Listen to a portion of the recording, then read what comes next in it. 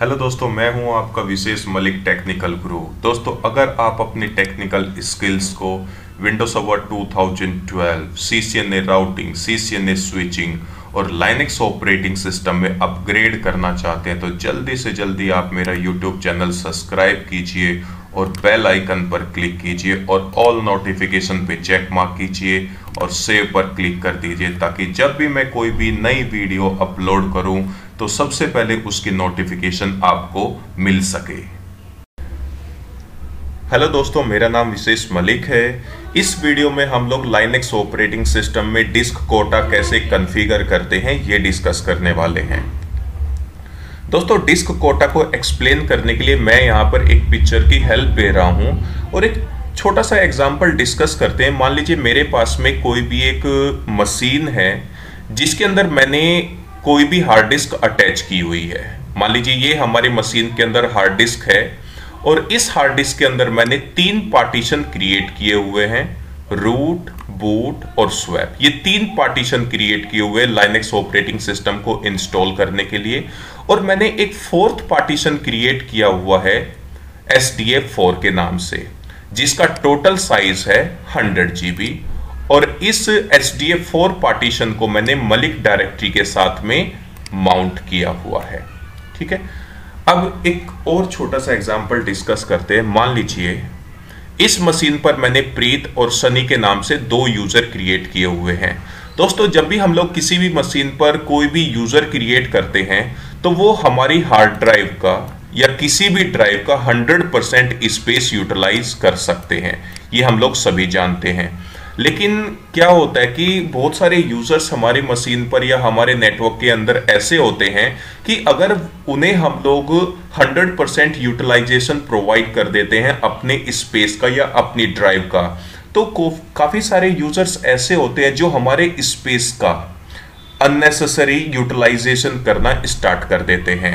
कि जहाँ से भी उनको डेटा मिलता है, चाहे वो नेसेसरी है या अननेसेसरी है तो वो हमारी ड्राइव पर सेव करना स्टार्ट कर देते हैं, जिसकी वजह से हमारा स्पेस जो है वो जल्दी से जल्दी खत्म हो जाता है, या डिस्क या ड्राइव फुल हो जाती है।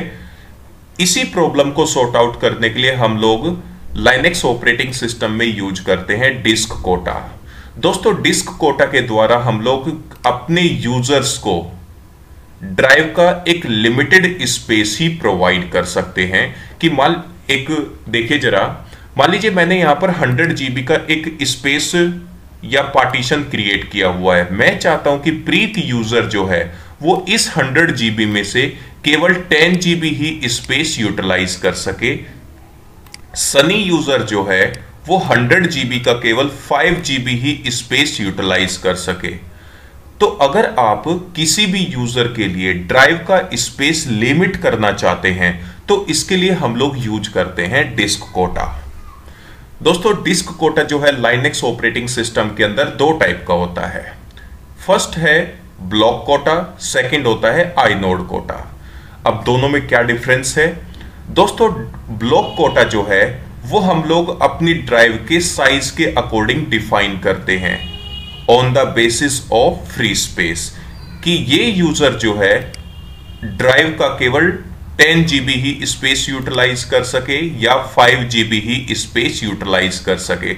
अगर आप किसी भी यूज़र को साइज़ के अकॉर्डिंग डिफाइन करना चाहते हैं कोटा तो उसके लिए हम लोग यूज़ करते हैं ब्लॉक कोटा।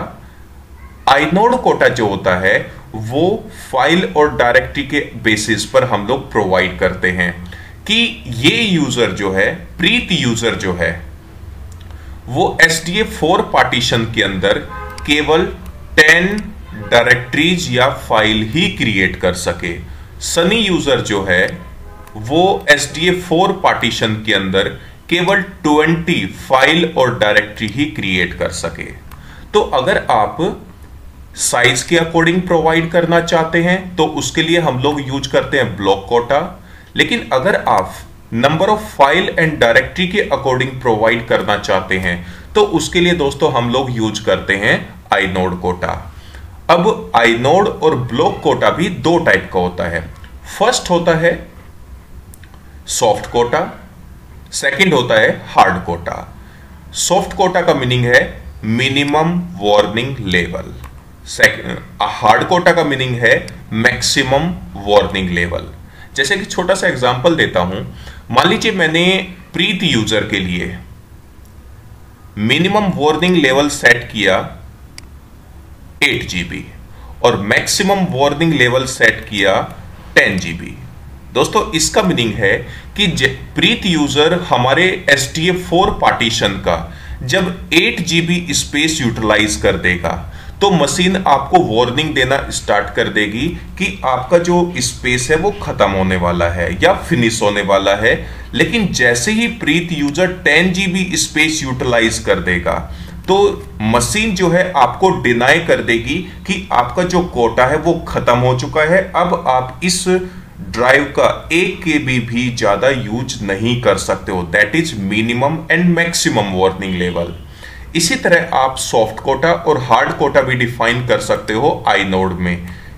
जैसे कि एक छोटा सा और एग्जांपल देता हूँ। मान लीजिए मैंने सनी यूज़र को S T F four partition के अंदर मिनिमम वार्निंग लेवल सेट किया फाइव फ़ाइल एंड डायरेक्टरी और मैक्सिमम मैंने डिफाइन किया टेन फ़ाइल एंड डायरेक्टरी तो Sunny user S T F four partition के अंदर जब फाइव पाँच फ़ाइल और डायरेक्टरी क्रिएट कर चुका होगा तो मशीन सनी यूज़र को वार्निंग देना स्टार्ट कर देगी कि number of file and directories जो है वो आपकी फिनिश होने वाली है।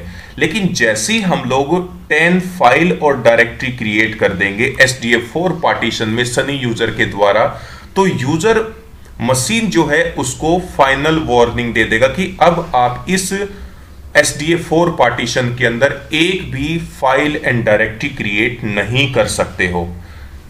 तो सिंपल सी वर्डिंग में दोस्तों एक जल्दी से एक्सप्लेन करता हूँ। डिस्क कोटा जो है, वो हम लोग किसी भी यूज़र के लिए एक पर्टिकुलर पार्टीशन पर प्रोवाइड करते हैं ड्राइव का स्पेस लिमिट करने के लिए। अब डिस्क कोटा को प्रैक्टिकली परफॉर्म करने के लिए मैं आपको अपनी वर्चुअल मशीन पे लेके चलता हूँ। जो कि मैंने यहाँ पर एक R H L seven server के नाम से क्रिएट की हुई है। अब देखिए R H L seven server नाम की वर्चुअल मशीन के अंदर मैंने already Linux operating system install किया हुआ है। अब सबसे पहले यहाँ पर अगर आपको मैं show कराऊं D F space hyphen capital T H के द्वारा, यहाँ पर आप देख सकते हैं मैंने एक S T F four partition create किया हुआ है। और S D F four partition को मैंने एक्सएफएस फ़ाइल सिस्टम के द्वारा फॉर्मेट किया हुआ है। टोटल साइज़ है S D F four partition का हंड्रेड जीबी और इस S D F four partition को मैंने मलिक डायरेक्टरी के साथ में माउंट किया हुआ है। दोस्तों, एक चीज़ हमेशा ध्यान रखना, मैंने आपको काफ़ी पहले बताया था लास्ट वीडियो में कि जिस तरह लाइनेक्स ऑपरेटिंग सिस्टम के अंदर आप किसी भी पार्टीशन को डायरेक्टली एक्सेस नहीं कर सकते हो, और अगर आप किसी भी पार्टीशन को यूज़ करना चाहते हो या एक्सेस करना चाहते हैं, या किसी भी पार्टीशन के अंदर डेटा सेव करना चाहते हो तो उस पार्टीशन को हमें एक डायरेक्टरी के साथ में माउंट करना पड़ता है। इसी तरह दोस्तों लाइनेक्स ऑपरेटिंग सिस्टम के अंदर अगर आप डिस्क कोटा प्रोवाइड करना चाहते हैं तो आप अपने पार्टीशन पर डायरेक्टली कोटा अप्लाई नहीं कर सकते हो।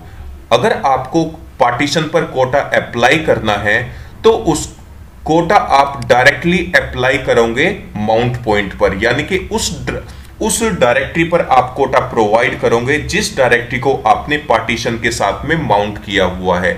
क्योंकि कभी भी आप लाइनेक्स ऑपरेटिंग सिस्टम के अंदर किसी भी पार्टीशन पर डायरेक्टली कोटा अप्लाई नहीं कर सकते हो।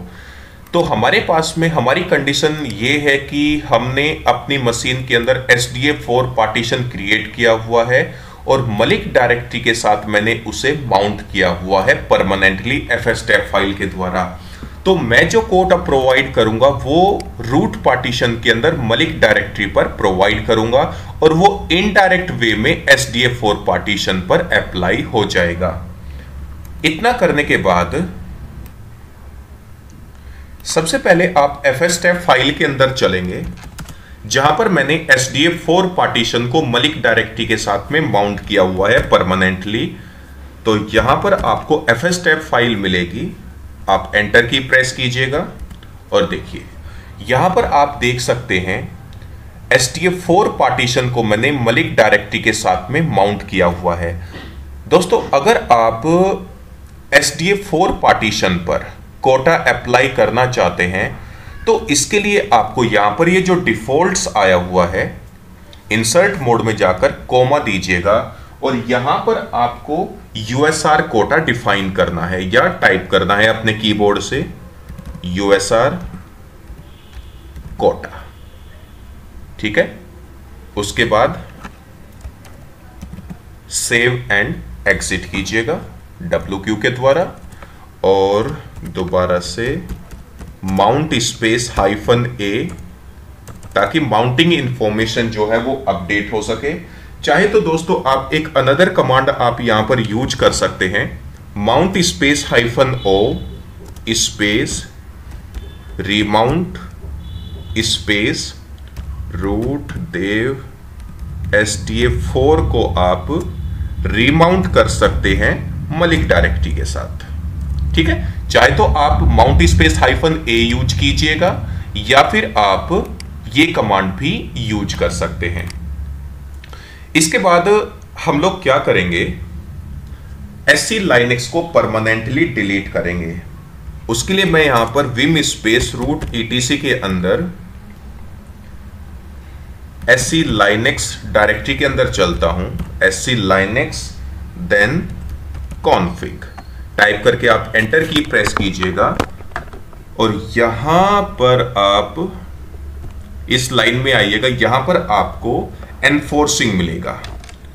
इसे आप डिलीट कीजिएगा और यहाँ पर आपको डिसेबल्ड टाइप करना है एनफोर्सिंग को हटा के। डिसेबल्ड स्केप कॉलन डब्ल्यू दोस्तों एस सी लाइनेक्स को डिसेबल करने के बाद एक बार अपनी मशीन को आप रीस्टार्ट करेंगे। रीस्टार्ट करना बहुत ज़रूरी है, क्योंकि एस सी लाइनेक्स को जब भी हम लोग डिसेबल करते हैं या फिर इनेबल करते हैं तो आपको लाइनेक्स ऑपरेटिंग सिस्टम की मशीन को डिसेबल करना सॉरी लाइनेक्स ऑपरेटिंग सिस्टम की मशीन को रीस्टार्ट करना होता है। जस्ट आई टाइप करके एंटर की प्रेस कीजिएगा और आपकी मशीन जो है वो रीस्टार्ट हो जाएगी। तो दोस्तों, इस वीडियो में इतना ही। नेक्स्ट वीडियो के अंदर हम लोग डिस्क कोटा को कंटिन्यू रखेंगे कि लाइनेक्स ऑपरेटिंग सिस्टम के अंदर हम लोग डिस्क कोटा कैसे कन्फिगर करते हैं।